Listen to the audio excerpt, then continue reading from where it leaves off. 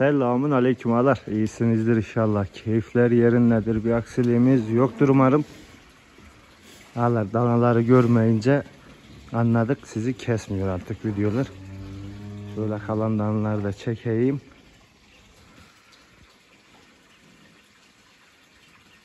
Sularını doldurayım. Ağalar bugünkü konumuz çerez tadında gideceğim. Şimdi Arkadaşlar bu videolara daha öncelerden değindik. Ha, parke biraz korudu. Hala zararı olmuyor. Yani parke benim için daha iyi. Çünkü beton olan çiftlikleri de biliyorum ben. Altının beton olduğu. Yağmur yağıyor. Danalar diz kapağına kadar suyun içinde. Çok değişik bir yöntem o. Bilmiyorum da benim için yani böyle büyük paduklarda parke daha iyi. Küçük paduklarda tamam beton daha iyi kaçar. Ama büyük paduklarda böyle eninin fazla olduğu yerlerde parke daha kullanışlı. Yani kepçenin tırnakları olsun, traktörün arkasından şu aletler olsun parkeyi sökmüyor. Zaten 700-800 kiloluk hayvanlar sürekli basa basa oturtturuyor. Bunun önemli olan püf noktası altının güzel sıkılaştırılması. Hayvan bıraktığımızda ya da kepçe, traktör girdiğinde böyle esikli bensikli olup da ya bunun tırnakları ya kepçen tırnaklarının geçmemesi lazım kaldırmaması için. Onun için ağlar zeminin iyi sıkılaştırılması mühendisliğin zaten temel kuralıdır.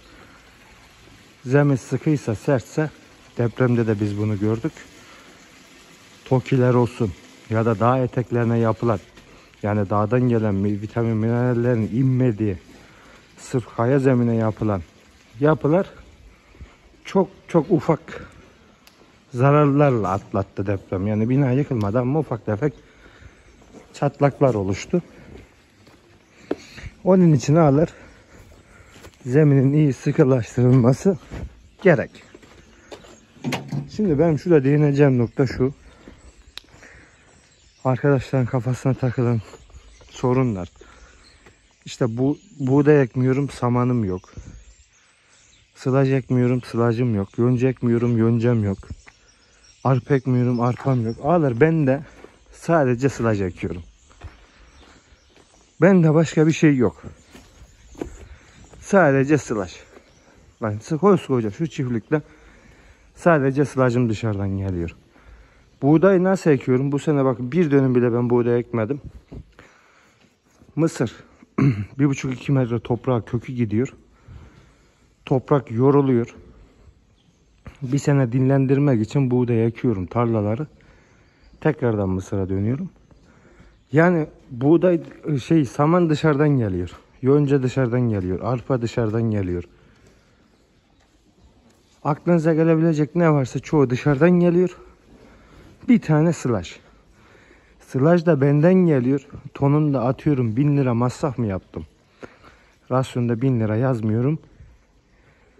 Elbistan'da ne kadar sılaj? 2350, 2200, 2300 o civarda anlaşmışlar.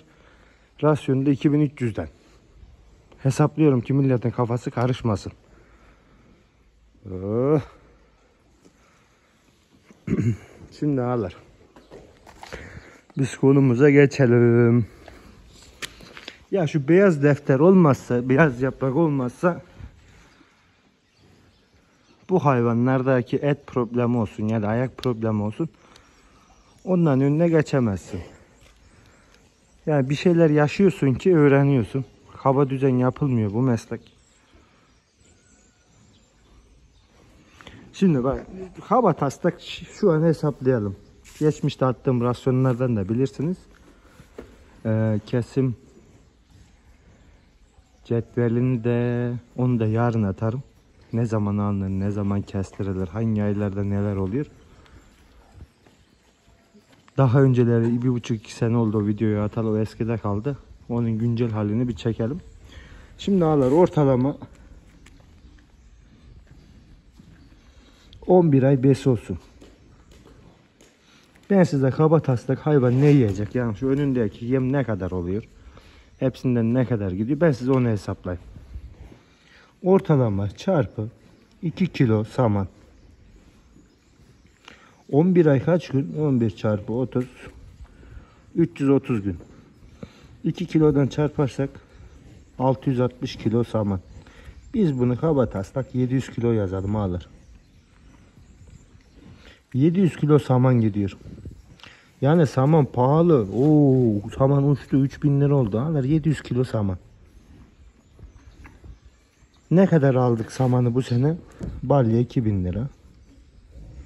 Çarpı 2 lira. 1400 lira. Kalem ucu kırılacak herhalde. 1400 lira saman. Kaba yemleri ilk önce aradan çıkartayım. Ortalama 2 ton sılaç. Tarladan gelen 2 ton sılacı alır. Şimdi bu içinde su olduğu için tabii ki de fire verecek. Ben tarladan çıkan sılacı hesaplıyorum. 2 ton. Tonu ne kadar? 2300 lira. Bu ne kadar yaptı alır? Yani hesap düz gelsin diye 4500 lira. Slash.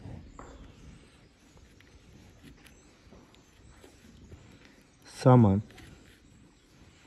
Slash. Başka bir tane kaba yemimiz kaldı yonca.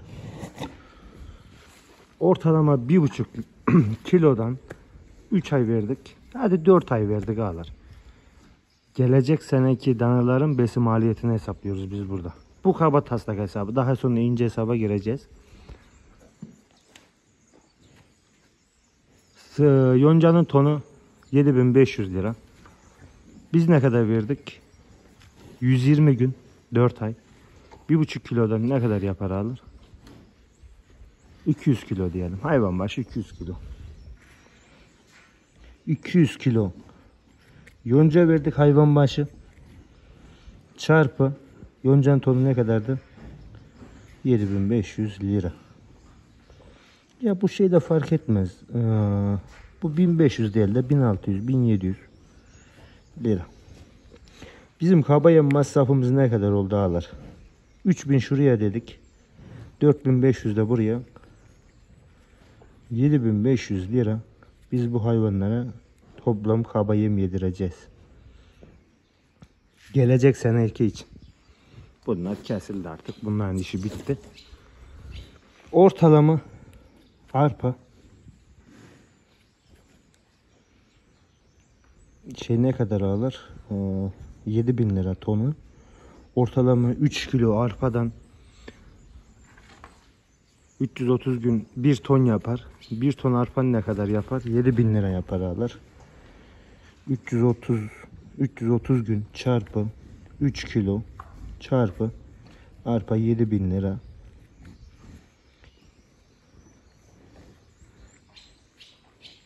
Yedi bin lira arpa yaptı. Kepek ortalama 4 ay verdik. 3 ay idealde ben fazla fazla hesaplıyorum ki hesapta bir sonralardan bize bir amorti yaşanmasın. Kepeğin kilosu 7 lira. 7 çarpı biz 4 e, ortalama 1,5 kilo aynı yonca ile aynı çıkıyor hemen hemen ya. Yonca ne tuttuydu? 1500 lira mı? Kepek 1500 lira. Hatta 1500 de tutmaz. Bunun fiyatı 7500'dü. Arpa, kepek, mısır ortalama 1,5 kilodan 330 gün 300 gün diyelim 450 e, kilo yapar. 450 çarpı ağlar 8 ne kadar yaptı? Hesaplar yani kafanıza ha 300 lira eksik yazdın 300 lira fazla yazdın ona takılmayın abi. Şimdi bir tane dananın 80 bin lira 90 bin lira olduğu şeyde piyasada 300 lira 400 liralar yani 1 lira gibi geliyor sana. 330 çarpı 1,5 kilo çarpı 8 lira. Ne kadar yaptı ağlar? Ortalama 3500 lira diyelim. Yem ağlar ortalama 3 kilo çarpı torbası 500-550 lira var herhalde. 330 gün çarpı hmm, o zaman tonu ne kadara geliyor? 10 bin liraya mı geliyor? 10 bin lira ton fiyatı var. 10 bin lirada yemden geldi alır. Bizim başka neyimiz var?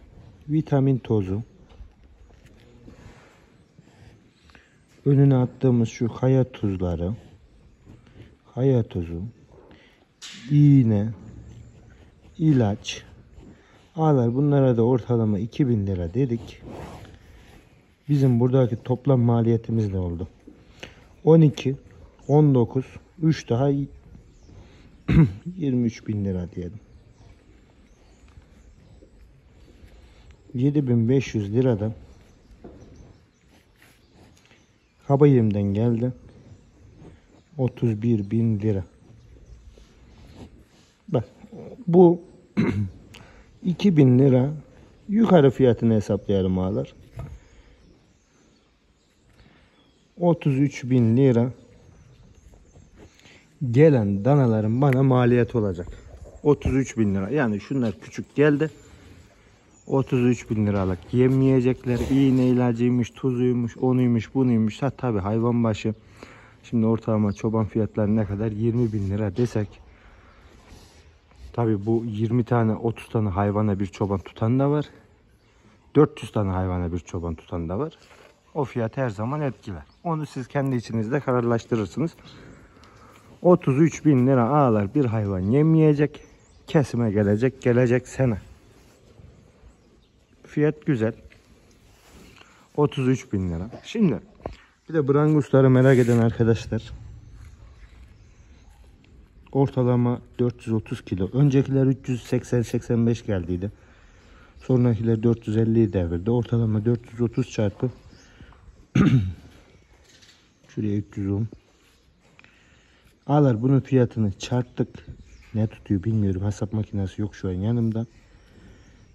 Eksi 33 bin lira gelecek danaların yemi. Eksi ortalama 250 kilo angus çarpı 192 lira canlı kilo. Artı 2000 lira da gümrük nakliye cart parası. Bunları da ekledik bunun altına. Farazi konuşuyorum bura 50 bin lira. Dana. Şunlar eksin. Branguslardan şu ikisinin şeyini çıkarttık. Dana, baş, dana başı. Bana kalan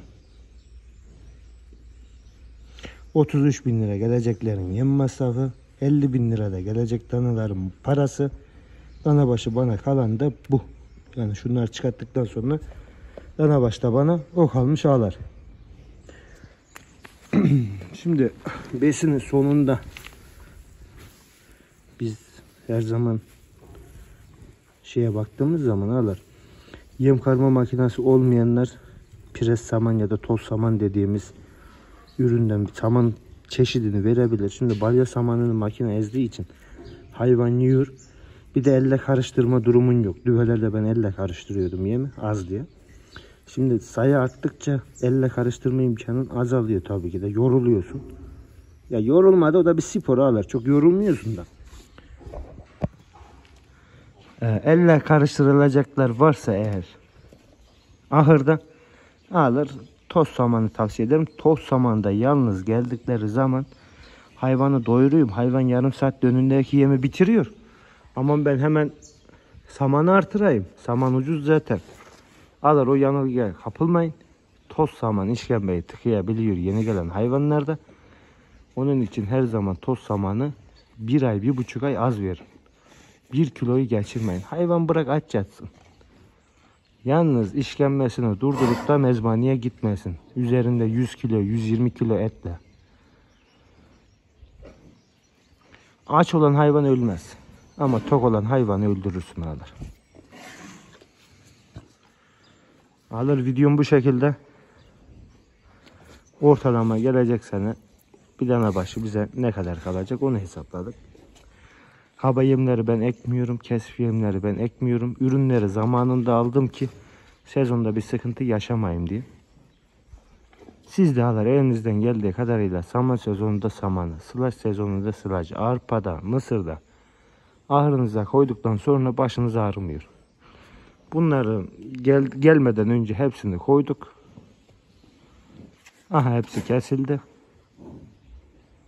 Yeniler gelecek. Yeniler de koyacağız. Tekrar görüşürüz. Allah'a emanetsiniz. Seviliyorsunuz, sayılıyorsunuz.